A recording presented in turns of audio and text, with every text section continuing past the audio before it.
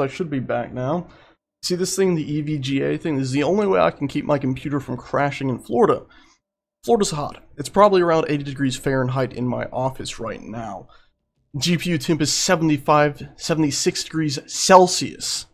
Pretty hot. So the only way I can keep this damn thing from really overheating, I can set a temp target temp, but it still seems to go over that and then craps out. But a GPU clock offset. I do negative 144 hertz, basically neutering my graphics card a bit, and that seems to keep things running.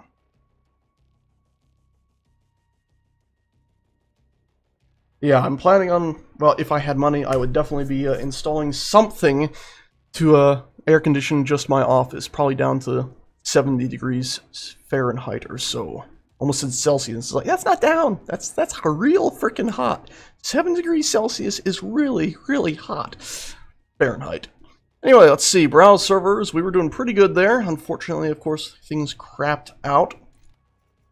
I believe I was talking about the satanic nature of Hitler. I know, I know, you might say, well, Hitler, I did see somebody say, Hitler was not satanic. He just did what he believed was right. You can believe what you're doing is right and still be serving the devil. It's the most important lesson to learn when it comes to looking at the world and how people act. You can believe you're doing absolutely the right thing, but take a step back and if you are gassing hundreds, thousands, millions maybe of people, you're serving the devil. Now, not everything you do might not be in servitude to the devil, but you are unknowingly working for the devil. That's one of the things I say a lot, is there's a lot of false Christians in America who are actually satanic. They do not know this. They, of course, think they are serving God. They go to church every Sunday and pray, and they'll pray the loudest and the hardest they can. But when they get home, they go back right to looking at the TV and yelling hate and bile towards anybody who is even slightly different than them, anybody who alters from their view. Never mind the fact that God made that person as well. Maybe that person is wrong, but should we be throwing such fervor and hatred at them and not trying to help them? If somebody goes ahead and is all for abortion, I'm not exactly sure I agree with this. But that doesn't mean you should shoot up an abortion clinic. You're doing the devil's work. The devil is joyous in the fact that he loves violence. Violence begets violence. He is so happy if you stop his enemy through violence.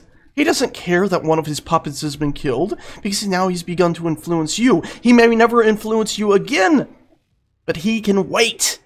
Everything can wait for him until he has someone else to raise up the flag and do something vile and evil, just as he would please want them to do. Let's see. Let's find a map here. Hopefully not get too high of a ping. There's Black Forest. Uh, we want to, let's just, just do filters. We're going to set difficulty to hard. And then... Fly. Hostile grounds. It's got people in it. We want to try something with minimal people. City blockade. That little... I don't know what that means. I don't like catacombs. I'll get killed there in two seconds. Husk factory. Let's give that a go. I have no idea what that's like.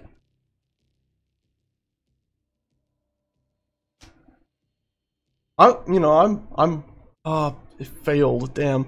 Uh, I, I'm, I'm quite interested in a Nazi zombie army because, of course, I've I've looked at the uh, standard, you know, like uh, Sniper Elite games, and I look at them and I think, oh my god, these look so cool. The zoom ins, the blood, the gore. It's a primal thing. It might pull back to the second thing almost, but it's a primal thing and it's a video game. So is there really sin there? But then I think, well, I am shooting at Nazis. Nazis were the villains, but not all of them were truly evil. Many of them were conscripted, were basically given no other chance but or choice but to go into the military.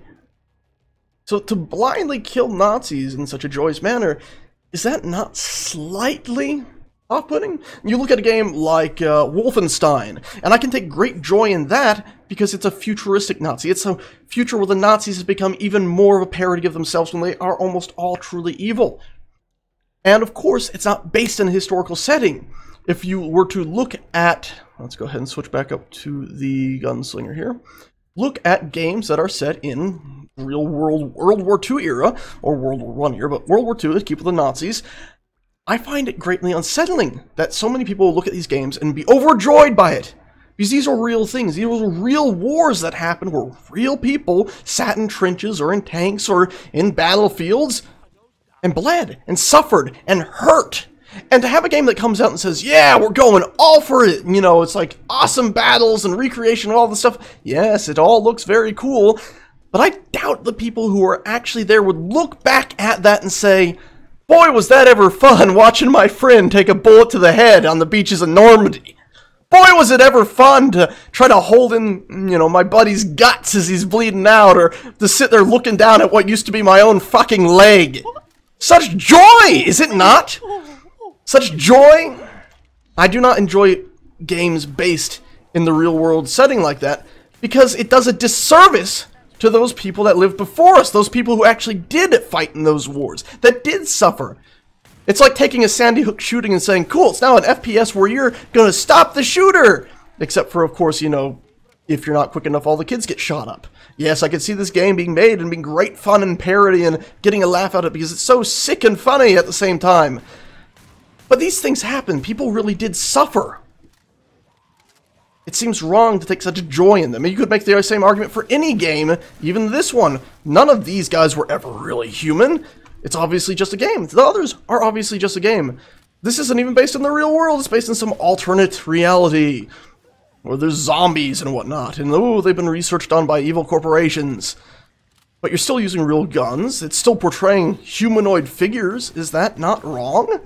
Is it not wrong to have that drive to pull the trigger and shoot? Maybe it is in some level, but we have to remember it's not real. But the thing about those war games is they advertise themselves on their reality, on the fact that they're based on World War II, on the fact that they're based on these real wars where real men, and sometimes women even, suffered and died. And yes, of course, there weren't really many women at all in any military back then, but you still found women getting trapped in the middle of a battlefield, or refusing to stay behind, or even dressing up as a man to try and get out on the battlefield every now and again. Something of that sort throughout history will have happened. These were real things. To take such blind joy in what was a horrible act seems so wrong to me.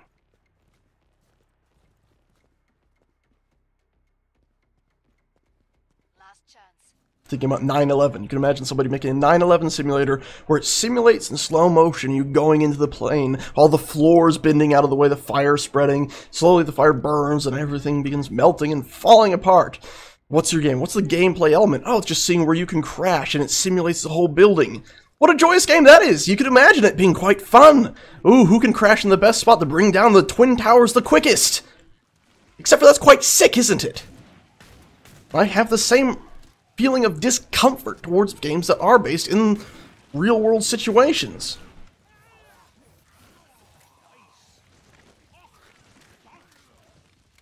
A lot of baddies here, and I can't seem to get a good shot in on them.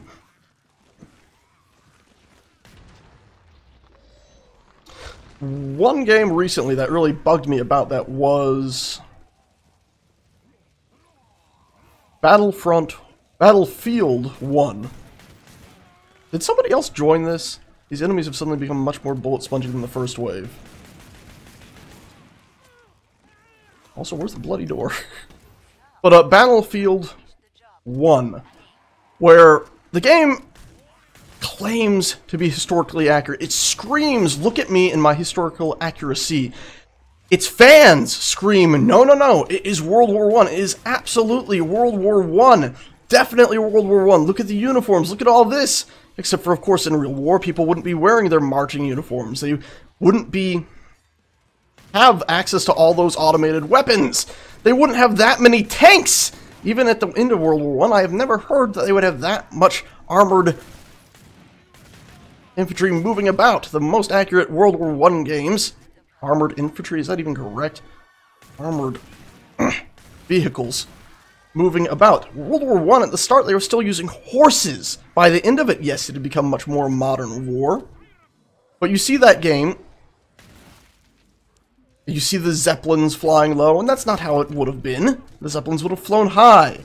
The planes, there wasn't that much plane combat in the First World War. It's nonsensical.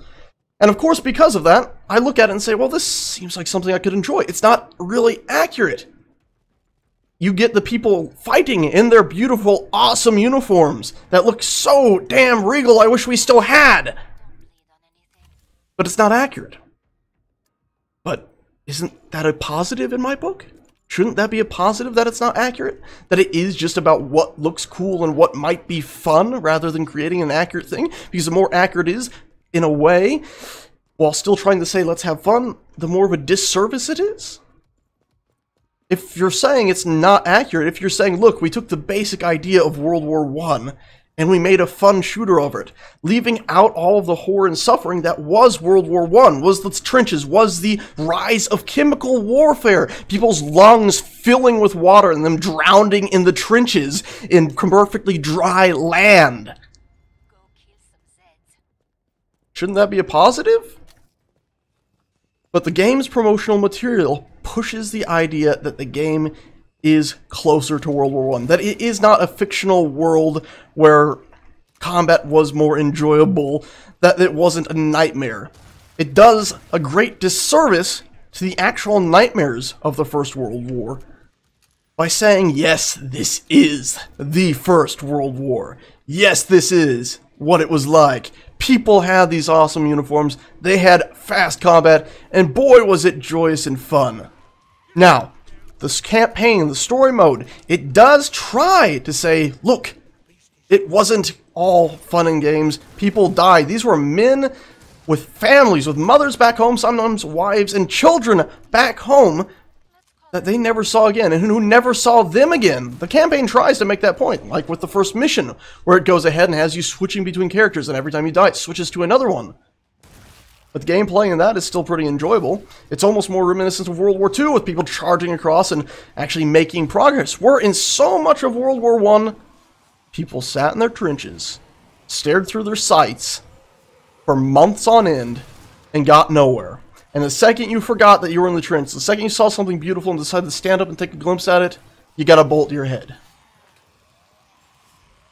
I find that game very annoying in that way. I bought it because it was so fun looking.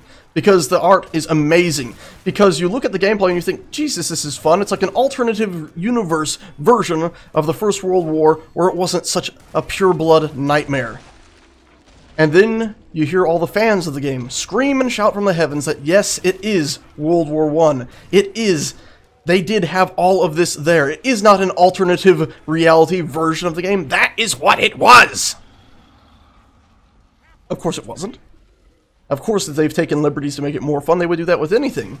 But to have them push the idea that, hey, no, this isn't alternative reality, this is kind of really what World War One was like, makes it so much more disheartening. Means that any time I set foot into that game, actually, even when I just tried to press play and got to the menu screen, that's as far as I made it in the game. I've watched footage of other aspects of it, that's why I know about other aspects of it. I've watched a fair amount of it because it is an enjoyable game. But as soon as I got to just the menu screen, all I could think about were those poor sods in the fracking ditches, suffering, bleeding, dying, gasping, wondering if they'd all their supplies were in order. Don't forget, you also had trench foot and all that wonderful stuff. From the rotting, mucky ditches that people lived in. No glory in real war. People find it, and they could find it more easily in the past, when that's all there seemed to be in life. Violence and war, and what was the point? Most people didn't have the time to think further, or if they did, what was there to help feed their mind, help bring them further out of the darkness, make them less animal? There wasn't much, was there? For a long time, there really was not much.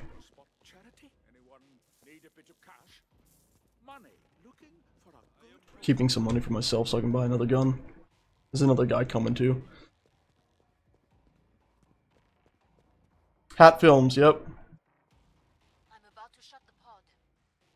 DJ, yeah, that's Hat Films. That's where I absolutely watched a lot of my uh, Battlefield 1 footage. Their multiplayer funds. I did watch um some of what do you call it? The Rooster Teeth Achievement Hunter guys playing through the campaign. That's how I know about the campaign area. I didn't get very far into that because, of course, I realized the jovial nature of the game, even though, obviously, it was trying to be serious. And, of course, you did have Achievement Hunter in their usual joyous way about things, trying to make it even more fun. You could tell the game itself wasn't succeeding very well at making it very glum about getting across what a hellish nightmare being in a war zone really was. It's one of the things I've always hated about modern warfare shooters too, ones that put you in, you know, Afghanistan, Iraq, such places as that. Heck, even uh, Counter-Strike. I remember when I tried to play Counter-Strike, I was probably around 15 or so. Can't exactly remember, but I remember 9-11 stayed fresh in my mind for a very long time years. I remember getting in there, and of course it's, okay, now it switches sides and you're the terrorists. Well, I didn't want to play as a terrorist. they just killed 2,000-ish Americans not too long ago. This always happens. As soon as we get more people and it goes to pot.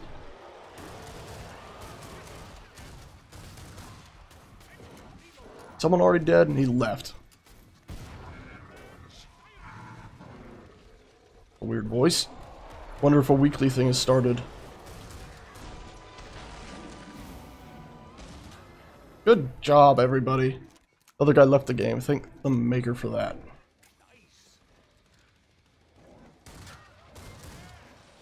Wonder if my mic was on, they could hear me complaining about them. Guten Tag.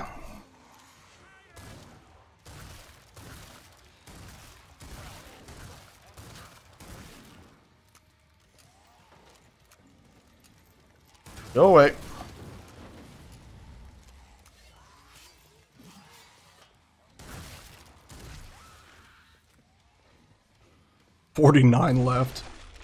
We should probably get back outside. Or they, uh, get behind us here. Oh, yep, there they are. Okay, cool. That's painful. Like I said, should have gotten back outside before they got behind us. I think this will lead us out. There we go.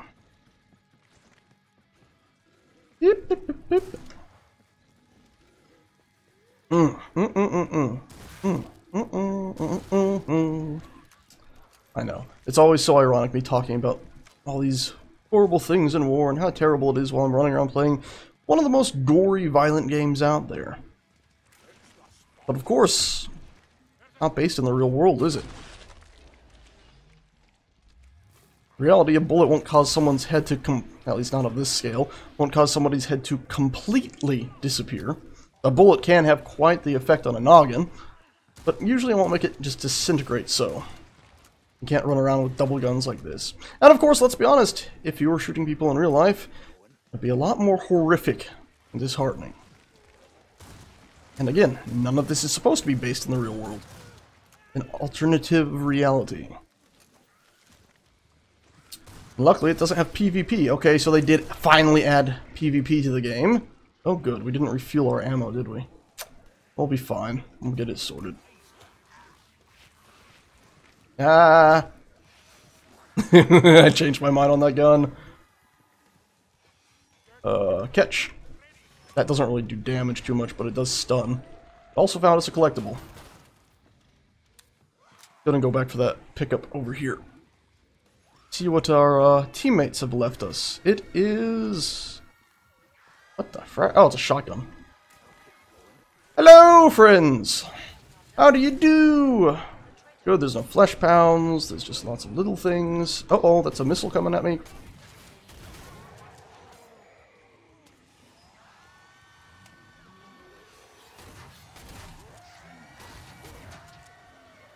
No, no, no, no, no, no, no. Vomit on me.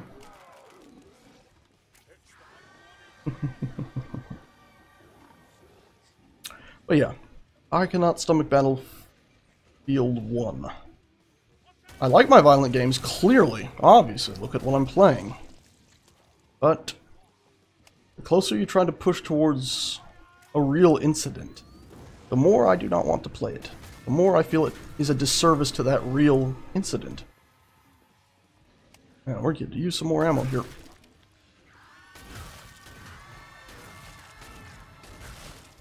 And that one woman is not wanting to go down. We luckily picked up some ammo there. Shame we didn't switch to our other weapon before picking it up, though. Go off before she screams! Good. She still survived. I was thinking about what those sirens are wearing. It's quite the nightmarish thing, isn't it? Because their arms are actually bound right here and here. They're actually like uh, there's little metal things holding them in place. It's a pretty horrific thing. Imagine that. Your arm's permanently stuck there. Their mouth is open with like a metal thing sticking out of it. And we'll finish with the shotgun.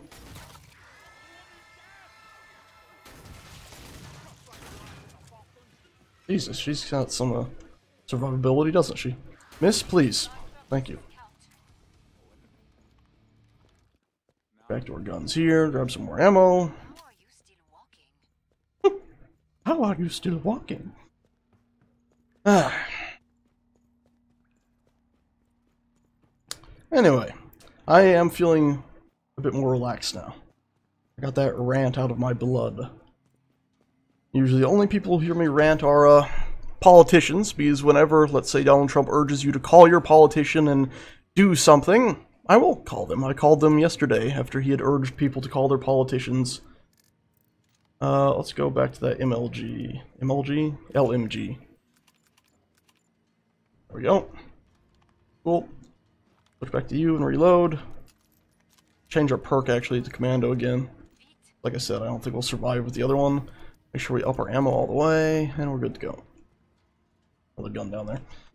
And it doesn't really matter where we are. Means we're probably going to be playing a ring around the rosy with a boss here in a second. But yeah, the other day Trump had urged people to call their politicians, their congressmen, and go ahead and tell them to have a stable military budget to approve, actually, the increased military spending budget, I believe it was what it was, and to uh, approve the Republican healthcare plan. I called both of my uh, congressmen and left them both at least about a two to five minute message about how I would like them to have a stable military budget. Because a stable military budget is reasonable. That way they know how much they can and cannot exert, but not to ex ex mm, extend, increase the military budget.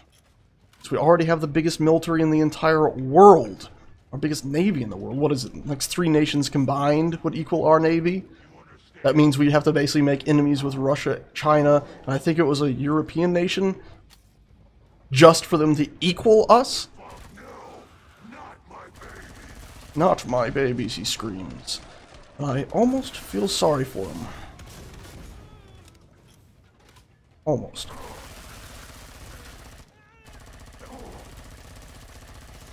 By the way, if you're unaware of why this guy goes, uh, oh, that's gonna hurt us a lot. Ow, not good, that's all of our armor gone. Hey, gun, gun! You need to run away. You usually run away around this point. There we go. Stabilize myself. I don't think we can get a, if you get a good line on him, you can actually kill him before he heals, but I can never seem to get a good line on him. Alright. ring around the Rosie here is where we will play. Uh, yeah. Uh, come forth, enemies. Fight me.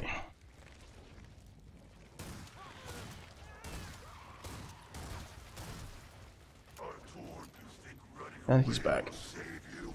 You're the one who keeps running away. You are aware of this, right? Like, you're the one who just ran away, you come back. Okay, now I run. But about a foot. Oh, uh, that was Bullfingle?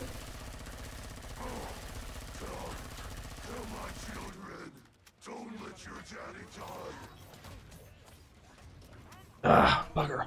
That should be it, I think. Because he gets a little... He's less inclined to run away every time. So hopefully now he won't run away again lost my train of thought of what I was talking about. Because of course the battle got a bit intense there. Earlier I was talking about um, Sniper Elite, and the fact that it does catch my attention. But I have thought about playing... Oh, and I also went into the uh, fact that aspects of it seem a little unsettling because it is based in the real world. I think that's actually what got us onto the whole real world thing. The games I avoid and all that. Oh, that's gonna really hurt. We got lucky. Oh, he's doing airborne strikes. No, we might die. We died. I forgot he does airborne strikes. I'm used to fighting him inside. Anyway, um... Sniper Elite Zombies. The Nazi Zombies. I might play through that because it's an alternative reality. You have the greatest villain, or at least one of the greatest villains of all time. Some people actually make the argument Stalin killed more people over time. Ugh, and he did quite a bit under the guise of the betterment of the country and the people. Very sickening. But, um... Total kills. Tons. But, uh... Yeah, I might play Nazi zombie snipers, because... Well, Nazis, in theory, all bad. Really, there were good ones, but in theory all bad, but they're zombies, and you get to shoot at the Hitler man that's not really the Hitler man, because of course you should never take joy in killing anybody in real life. Anyway, I'm done for this evening. That was my rant. Um, I do feel a bit more relieved. And like I said, I did call my Congress people. I told them to uh, not increase military spending, just find a stable point, and to uh, put forward a single-payer healthcare system not just any healthcare system, not just remove the Obamacare, otherwise known as the ACA, without putting forward anything else. Let's go for a single payer system, because that's the way it should be. If you want to dare claim it to be a Christian nation, actually act like you care about the people in the nation. Anyway, that's that. Thanks a bunch, everybody, for watching, and, um, yeah. See y'all next time. Need to get that out of my blood. Ta-ta.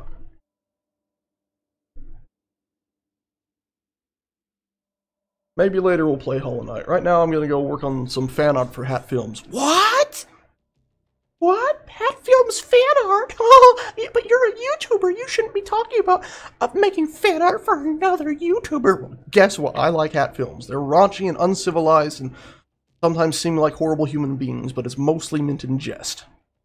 Mostly. Sometimes I do get a little bit at them when they talk about killing hamsters or dogs. Alright, see you guys around. Ta-tas.